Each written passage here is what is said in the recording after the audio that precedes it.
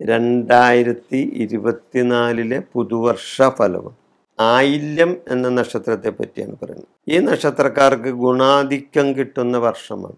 കർമ്മ പുരോഗതി ഉണ്ടാവുമായിരിക്കും. ഇവരെ സംബന്ധിച്ച് നല്ല കർമ്മ പുരോഗതി ഉണ്ടാവും. കർമ്മം പ്രവൃത്തി ഇല്ലേ? പ്രവൃത്തിയിൽ പുരോഗതി ഉണ്ടാവും. എന്ത് പ്രവൃത്തി ചെയ്താലും അതിനെല്ലാം ഒരു പുരോഗതി ഉണ്ടാകുന്ന ഒരു സമയമാണ് കർമ്മ പുരോഗതി ഉണ്ടാകുന്നത്.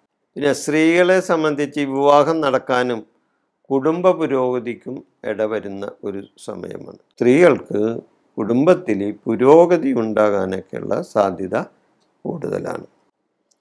പിന്നെ അതേപോലെ രണ്ടായിരത്തി ഇരുപത്തിനാല് കച്ചവടക്കാരെ സംബന്ധിച്ച് വ്യാപാരികളെ സംബന്ധിച്ച് എല്ലാം വളരെയധികം ഗുണം ചെയ്യുന്ന ഒരു സമയമാണ് രണ്ടായിരത്തി ഇരുപത്തിനാല് വ്യാപാരികൾക്കൊക്കെ ഗുണം ചെയ്യുന്ന സമയമാണ്.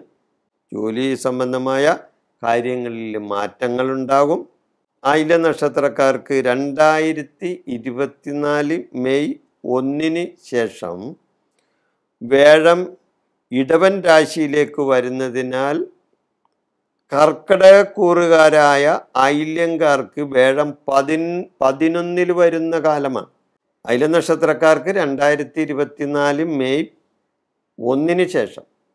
അപ്പം മെയ് ഒന്ന് എന്നുള്ളത് രണ്ടായിരത്തി ഇരുപത്തിനാല് മെയ് ഒന്ന് എന്നുള്ളത് വേഴത്തിന്റെ രാശിമാറ്റ സമയമാണ്. അപ്പോൾ വേഴത്തിന്റെ രാശിമാറ്റം അനുസരിച്ച് രണ്ടായിരത്തി ഇരുപത്തിനാല് മെയ് ഒന്നിന് ശേഷം വേഴം ഇടവൻ രാശിയിലേക്ക് വരുന്നതിനാൽ കർക്കിടകക്കൂറുകാരായ ആയില്യ നക്ഷത്രക്കാർക്ക് വേഴം പതിനൊന്നിൽ വരുന്ന സമയമാണ്.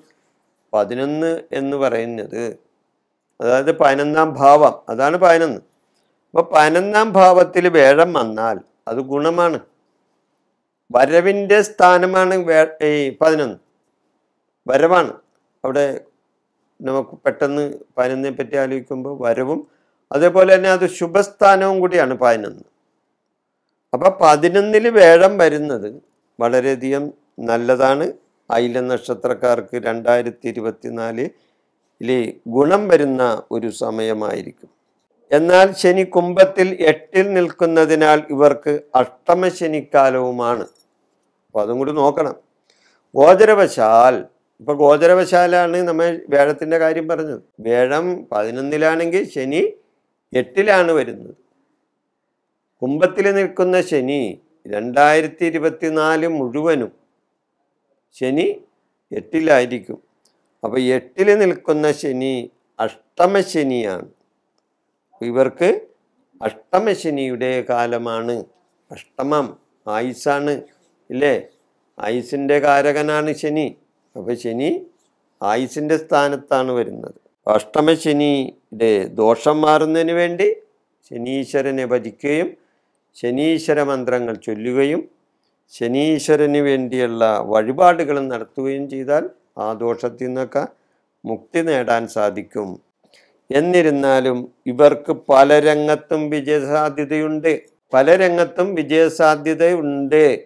കാരണം ഗോചരവശാൽ ഈ വേഴത്തിനെ കൊണ്ടും ശനിയെ കൊണ്ടും മാത്രമല്ല മറ്റ് ഗ്രഹങ്ങളുടെ ഗ്രഹസ്ഥിതികൾ എല്ലാം നോക്കിയതിന് ശേഷം പറയുന്ന ഫലം നോക്കുമ്പോൾ ഇവർക്ക് പല രംഗത്തും വിജയസാധ്യത ഉണ്ടാകാനായിട്ടുള്ള സാധ്യതയുണ്ട്. വാഹന അപകടത്തിന് സാധ്യതയുണ്ട്. വാഹന അപകടം ഉണ്ടാകാം. അപ്പോൾ അതൊന്ന് സൂക്ഷിക്കണം. കാരണം ആയുസിന്റെ സ്ഥാനത്താണ് ശനി നിൽക്കുന്നത്. അതായത് അഷ്ടമത്തിലാണ്. ഇല്ലേ?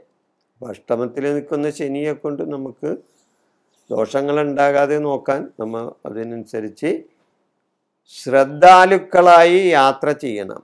ഉന്നതന്മാരായ വ്യക്തികളിൽ നിന്നും സഹായങ്ങൾ ഇവർക്ക് കിട്ടാൻ സാധ്യതയുണ്ട്. ജോലിയിൽ ഉയർന്ന വരുമാനമുണ്ടാകും. ജോലിയിൽ ഇവർക്ക് ഉയർന്ന വരുമാനമുണ്ടാകും. സന്താനങ്ങളിൽ നിന്നും ഗുണകരമായ നേട്ടങ്ങൾ ഇവർക്കുണ്ടാകും. പതിനൊന്നിലാണല്ലോ വേടം വരുന്നത് ഇല്ലേ? അപ്പോൾ വേനനില വേടം ഇവർക്ക് ഗുണങ്ങളും നേ നേട്ടങ്ങൾ ഉണ്ടാക്കില്ലേ അപ്പം അതുകൊണ്ട് സന്താനങ്ങളിൽ നിന്നും ഇവർക്ക് ഗുണങ്ങളുണ്ടാകും. കലാകാരന്മാർക്ക് അംഗീകാരം ലഭിക്കും. സർവേശ്വര ഗ്രഹമായ വേഴം പതിനൊന്നിലാണല്ലോ നിൽക്കുന്നത് ഇല്ലേ? അപ്പം അതുകൊണ്ട് കലാകാരന്മാരായ ഐല്യ നക്ഷത്രക്കാർക്ക് വളരെയധികം നേട്ടങ്ങളുണ്ടാകുന്ന ഒരു കാലമായിരിക്കും രണ്ടായിരത്തി ഇരുപത്തിനാല്. ഇവർക്ക് അംഗീകാരവും അതേപോലെ തന്നെ സമ്മാനങ്ങളും ഒക്കെ കിട്ടുന്ന ഒരു സമയമായിരിക്കും. ക്രയവിക്രയങ്ങളിൽ നിന്ന് സാമ്പത്തിക നേട്ടമുണ്ടാകും. ഈ ആയില നക്ഷ നക്ഷത്രക്കാർ ക്രയവിക്രയങ്ങളിൽ നിന്നൊക്കെ നേട്ടങ്ങൾ ഉണ്ടാകാനുള്ള സാധ്യതയുണ്ട്. ഈ വിഷയം ഞാനിവിടെ അവസാനിപ്പിക്കുന്നു. നിങ്ങൾക്ക് നന്ദി. നമസ്കാരം.